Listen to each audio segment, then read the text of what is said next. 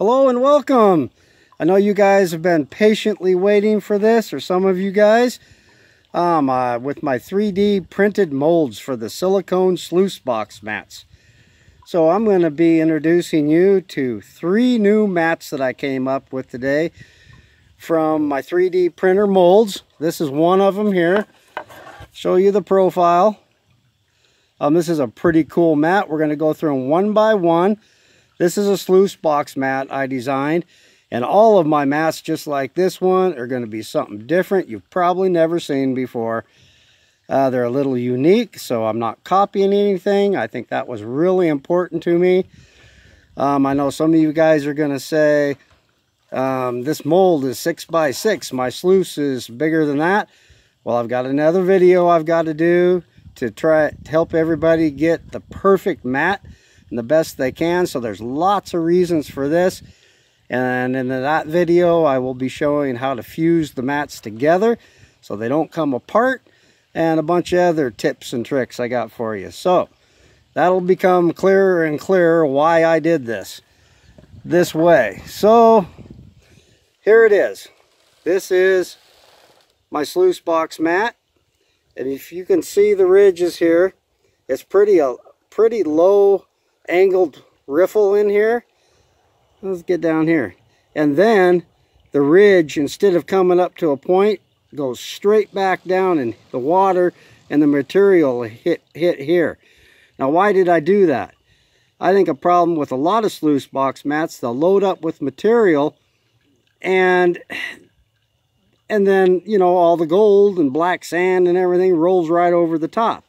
With this one, I wanted to give the gold the biggest chance I could to drop out. So the gold has literally got to crawl up this riffle. It's going to drop back down, hit this riffle. It's going to have to crawl all the way back up here, all the way down the mat.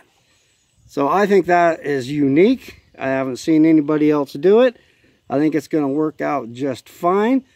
So I have been playing with these a little bit. I'm pretty impressed and I'm not surprised. Why? Because if I can cut grooves in a board and they work, if I can use Legos for a silicone mat and it works, if I can use PVC pipes and dimes and clay for a mold and it catches gold, um, I figured if I could come up with any type of a riffle system at all, it is going to be amazing. Well, I wasn't wrong. So let me just fire this thing up. I'll show you what it does. Um, with this mold I made, um, you even have the option to glue together to put a little wave in the middle of this or a little hump if you want to. I did on this one. Um, I like it.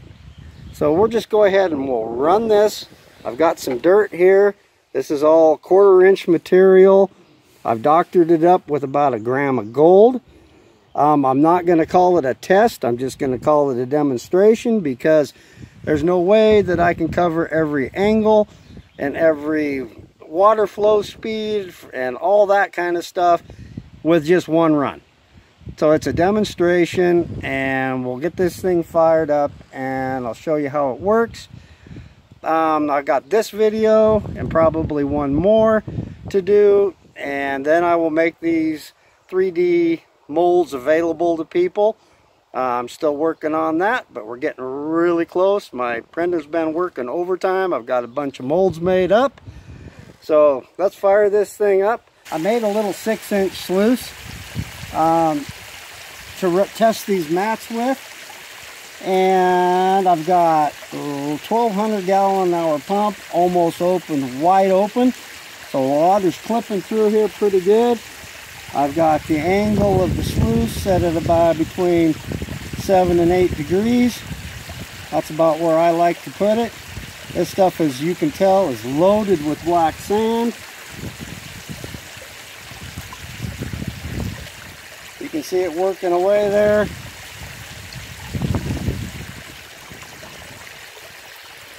You can see how the riffles are staying open about halfway down. That's what I was looking for. You can see how quick the material's cleaning out and working its way down. The gold's really got it. If it's going to move down, it's going to travel.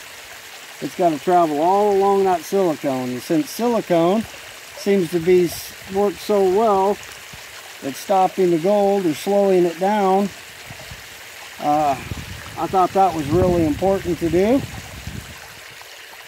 To give the gold as much surface area as we can possibly give it to slow it down and find a place for it to drop out and rest.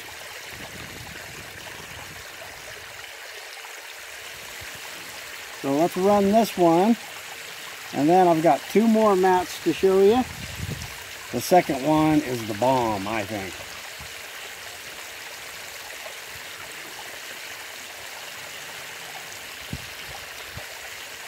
And with the 3D printed molds, you end up with all kinds of little tiny grooves in the mat itself to actually help trap the gold. I know, I don't know what will happen this time, but last time I ran it, I had gold actually sticking halfway up the riffle. I had gold sticking on top of the riffle because even the top of the riffle, it goes down and it's got little grooves in it and the gold was sitting right in there on top of the riffle. Now, I don't know any mat out there that would do that. You know, I've had a lot of people ask me if I'm going to compare my mats to anybody else. No, I'm not. I think that there's some amazing mats on the market. I think there's some not so amazing mats on the market. But this is still a do-it-your-home project. Um, I haven't made any mats to sell yet. I don't know that I will. I'm uh, just going to make the molds available right now. But no, I'm not out to trash anybody else's product that they've worked hard to develop and put out there on the market. I don't think that's good business at all. If these things work, they will stand all on their own. And I don't need to compare to anybody. That's just my two cents worth. Um, these molds are a little time consuming to print. Uh, one of them takes 17 hours and I'll show you that one here in a minute. This takes about 10 hours to print. Another one takes about 9 hours to print. Okay, well we just got done running that bucket of dirt. The gold's showing up. Um, I will go ahead and turn this off and we will take a peek at it and see what we see here. All right, look at all that gold in there. Right in the first riffle. We even have gold stuck up here on the slick plate. Um, we got gold I don't know if you can see it. I'm having fighting the wind here. I'm using my phone. It's got a better camera on it. Right on top of the riffle up here, you can actually see gold. Like quite a bit of it. Right in here. There's gold on top of the riffle. Lots of them. All the way down. I hope you guys can see that. There is gold, literally. You can see all those grooves in there. And there's gold halfway up the riffle.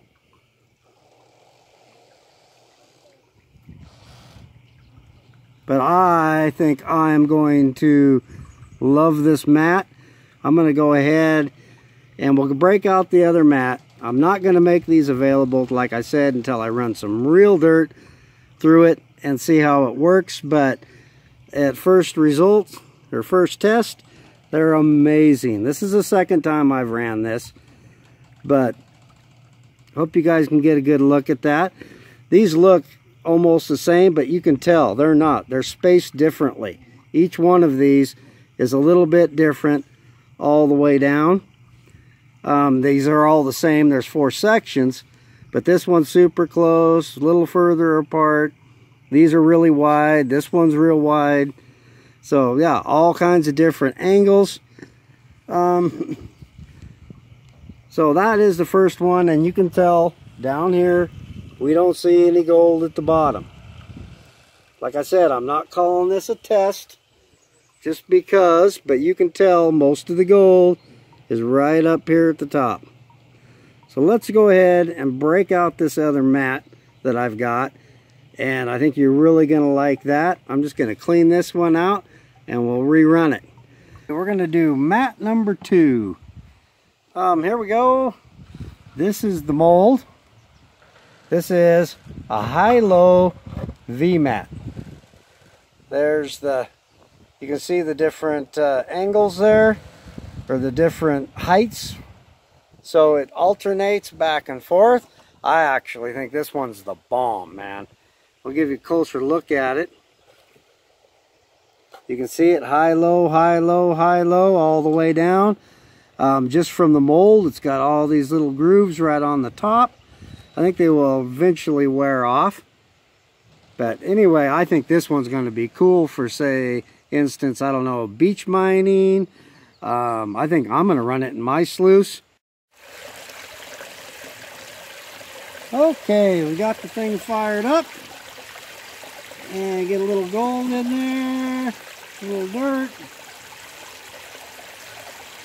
Actually, it's sticking to the mat up here. Just goes real slow. But this high-low V-mat, I'm going to love it. Look at that gold. They're barely moving down the mat.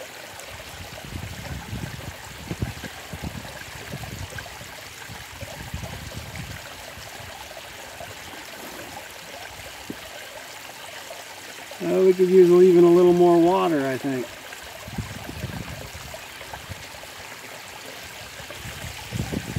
Without any problem at all. We'll get it moving along.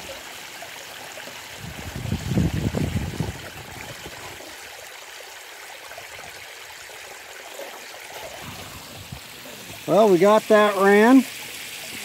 And as you can tell, we got black sand going down the mat. But look where the gold's at.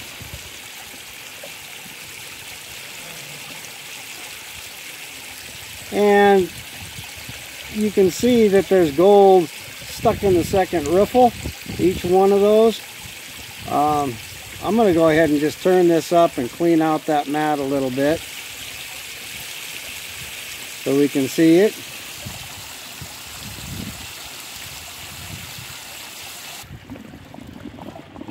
Okay, that is the V-mat, the high-low V-mat. And look at all that gold right up at the top. Uh, like I said, I'm going to love this mat. Um, it's going to work fantastic. Um, yeah, you don't really see any gold down here.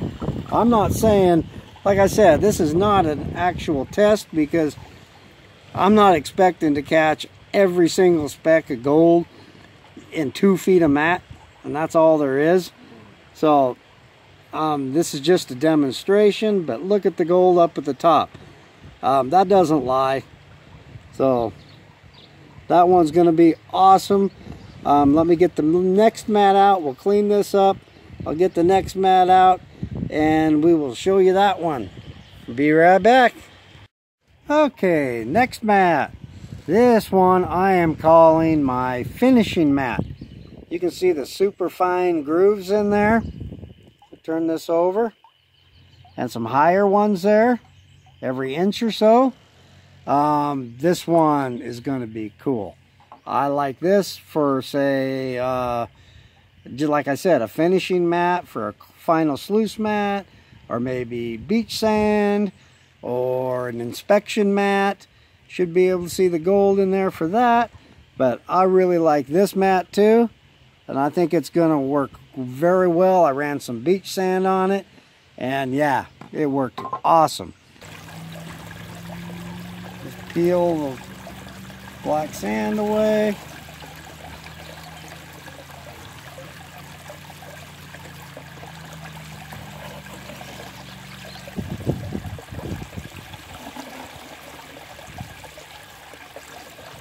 Made these mats to kind of work together. So you have, you know, a, a V mat, you can use to do your clean out after you run your regular material and then this finishing sluice. Um, I think they're going to work great together when I get out in the field, bring home my concentrates.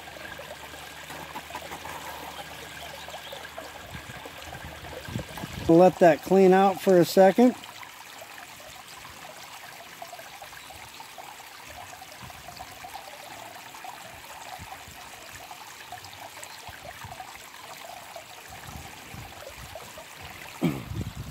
And there we have it. Look at all that gold at the top up there. For a finishing mat, I think that's going to work fantastic. Um, I think for, it'd be more for beach gold. Um, I ran it pretty fast it seems to do pretty well. We even got gold sticking on the slick plate up there again. Let me get this cleaned out and I'll give you my final thoughts and I'll say a few words here.